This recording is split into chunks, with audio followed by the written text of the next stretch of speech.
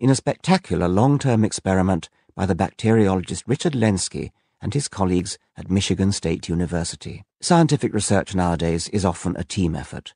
In what follows, I may sometimes use the name Lenski for brevity, but you should read it as Lenski and the colleagues and students in his lab. As we shall see, the Lenski experiments are distressing to creationists, and for a very good reason. They are a beautiful demonstration of evolution in action. Something it is hard to laugh off, even when your motivation to do so is very strong. And the motivation for dyed-in-the-wool creationists is very strong indeed. We actually look at, let's use, are you familiar with Lenski's experiment? Like, um, what do you know about Lenski experiment, uh, the Lenski E. coli experiment, Snake? Well, they, there were populations that improved their overall fitness and some populations that did not, that went extinct. In a narrow sense, there were some adaptations yeah. observed. In all 12 experimental populations, the functional bacterial genome size has shrunk. Like there's literally less total information. You know, they've actually lost genes for adaptive purposes. But at the end of the day, the net effect in the long run is degeneration. So I, I understand that according to your philosophy, that that's still evolution. Sorry, is that in the study that there's degeneration? Yes. Any yeah. It, it, it, talks about that. Um, every single population? The 12 experimental populations, the, the functional bacterial genome has shrunk. It is documented, and a lot of it was due to loss of, of, of biological functions, loss of, yeah. well, I mean, reductive evolution is, is known in bacteria. You can just, you can look for papers, reductive evolution in, in bacteria, and you'll get a ton of, of papers. Bacteria are just known to do that. You know, they'll lose genes, especially in artificial environments, you know, genes that are not necessary in, in that environment.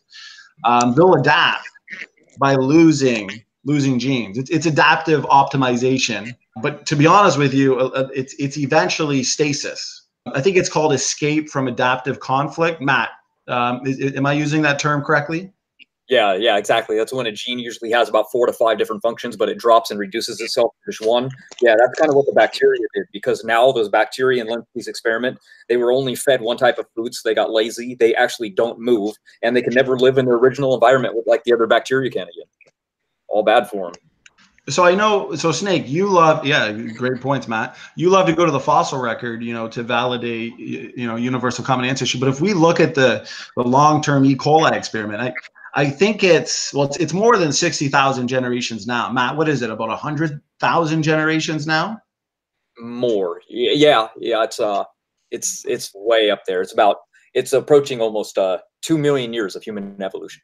So what's funny is this famous evolutionary experiment, okay, proves that in deep time, which you're looking to, Snake, when you look to the fossil record, even given a model population that would should be optimal for validating evolution, proves that populations don't evolve and instead they devolve. So I understand that you, that you stand by your philosophy, but based on this real-time observable experiment, it's science fiction.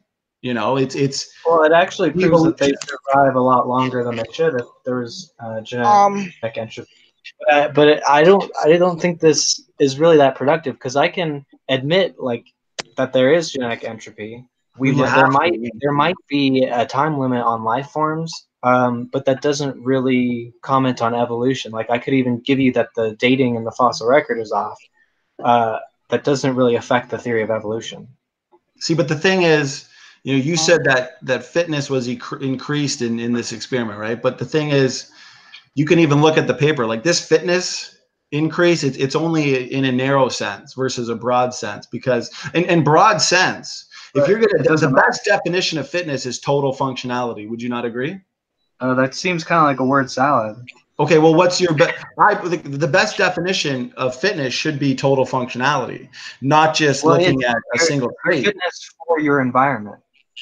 Right, right. So the fitness for this environment was um, like if, if you use the full meaning of fitness, total functionality given this environment, all 12 of the population have experienced a net loss of function and so they have reduced total functionality as needed in the real world okay yes to adapt to this environment they've lost genes but bacteria do that in, in the real world too so real world they, they've, gained gain function in some genes, and a lot of and the genes that they've lost function for, I mean, those can be beneficial mutations. There are loss of functions that are beneficial. Well, you're yes, according to like your belief system, you know, losing genes and you know breaking down pre-existing functional systems is going to take your bacteria-like organism to a biologist, but there's no science to support that. In in our new house, we tore down just one sec. In our house, new house, you know, we're doing renovations. We tore down the wall that separates the kitchen and the living room. That was adaptive, but guess what? We destroyed that wall that separates the two rooms in order to make a bigger room. Now, at the end of the day, if someone told me how'd you build the house, and I told them that, well, that's not explaining how I build the house. That's just it's just like these bacteria. You know, it's it's it's a net loss of information. You look to a trade-off, of course, but the question is, is the trade-off sustainable? And obviously it's not because if fitness is increasing in, in a very narrow sense, okay, you know, a certain portions of the genome is increasing in fitness, but the greater portion is simply just losing information and degenerating. Well, at the end of the day, if it comes down to a net gain versus a net loss, that's a net loss of fitness. And you know, you can disagree and say, "Oh, that's evolution." You know, that's how evolution works. But there's there's no science to actually back that up. You know, the the, the longest, the long term E. coli experiment, the, the largest evolutionary experiment there is currently, proves creation model you know mutations at the end of the day they're not you know construction they're they're destruction but if we actually look at say a real-time example say let's use uh, Lenski's long-term bacterial experiment if you're um, familiar with that. So we know that a you know a very uh, trivial adaptation happened because what it was was it was optimal growth on, on a given medium, right? But Lenski's bacteria, what they actually did was they shrank in genome size. So in other words, the functional genome, it actually decreased. So it became evident with, with this experiment, and, and they're still observing it, that the more rapid growth in these bacteria, it was actually very much and significantly accomplished through genetic degeneration. So it's actually a fact too that many useful genes, say not essential in that artificial environment of, of Lenski's experiment, they're actually lost, which means at the end of the day, not only are they lazy and, and they're handicapped in that environment, when transferred to a natural environment, those highly degenerated bacteria, they would certainly be dead on arrival. So right there is, you know, real-time evidence of that genetic degeneration, which once again I'm just saying is consistent with the biblical model and I don't understand how natural selection is going to be able to stop this degradation problem. Like do you have a solution to it? Um, and, and how do you feel about the Len, the the Lenski uh, example? Are you familiar with Len, Lenski's experiment? Go ahead. From what I understand, as far as the Lenski experiment goes, uh, the bacteria broke off into another species, and there were like what, like a couple generations of evolution. Lenski, he, for for younger creationists, I would say he dem- he demonstrated macroevolution. He demonstrated evolution on, on a large scale.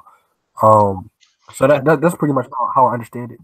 Well, at the end of the day, if because this aerobic citrate digestion by bacteria, that was the big one that was seen if it involves say the loss of control of, of the normal anaerobic citrate digestion and it's a you know sure it's an adaptation but it's a very much you know degenerative adaptive change you know that's not gonna uh, you know take your fish to fishermen. Because if we're seeing you know losses of information we're seeing genetic degeneration you know that's no help to large scale evolution because obviously we agreed that you know the word evolution means a change in allele frequency in populations over generations but if these changes are degenerative that's more consistent with a young earth creation model because obviously there's a shelf life on these genomes if we're accumulating these these mutations right?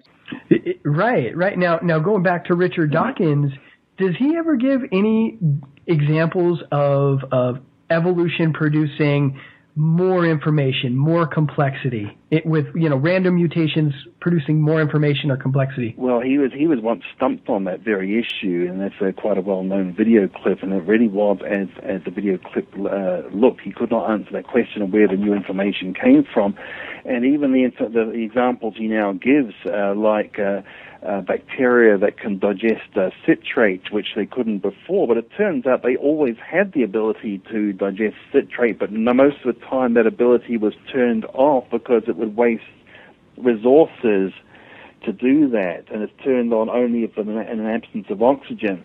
Um, because if you've got oxygen, you may as well use, do something else for energy. No point wasting citrate, which is low efficiency, but uh, what happened with these new bacteria is that control switch got damaged and the citrate eating was turned on perpetually.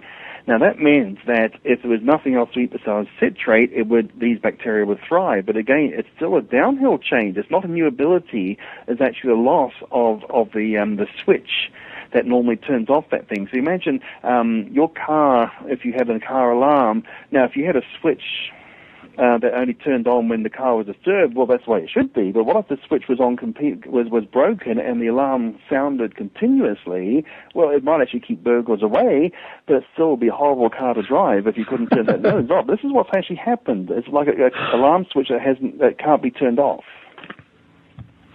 Uh, interesting. And so is that okay? That's one example, supposedly, and really, it's it's a loss of information. Exactly. Yeah. Is is that the best he has? That is that's a, he spends a lot of time on that one, a lot of other other evolutionists have spent a lot of time on that particular example. Which, in fact, that's one of the best they have, and it turned out not to be an increase. So Lenski's experiment: have they lost genes, deletions? Have their genome shrank in, in functional genome size? This is the experiment to look at. Can you explain that to me? There, there has been some uh, genome reduction, I believe, in uh, Lenski's like, experiment. Okay. Yeah, that's so. There's been some genome reduction. Deletions have been observed. All 12, I think it's 12 uh, populations, uh, experimental populations. The, the functional bacterial genome has shrunk in size. It contains less total information. You just agreed with that.